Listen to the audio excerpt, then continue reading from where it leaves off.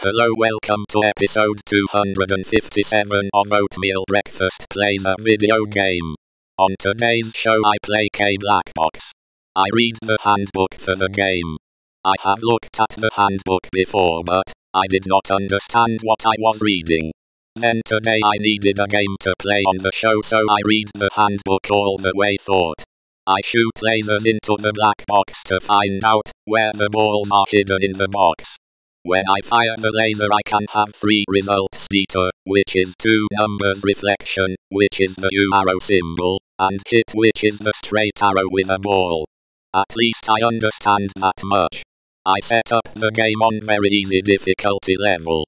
Which means I had two balls to find in the black box.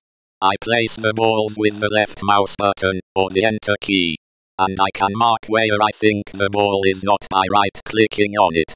I can also move around the box with the arrow keys. At least I get the object of K black box. When I used to look at the game I had no idea what I need to do to play the game, or win it. I have not yet won a game of K black box. It seems that I may never win a game of K black box. Maybe I will figure out how to win a game of the game. Maybe I won't. Time will tell. There are so many video games that I have not played. I want to play them all. Ha ha. Ha. If you enjoyed the show please consider liking the video and subscribing to my channel. Thank you for watching.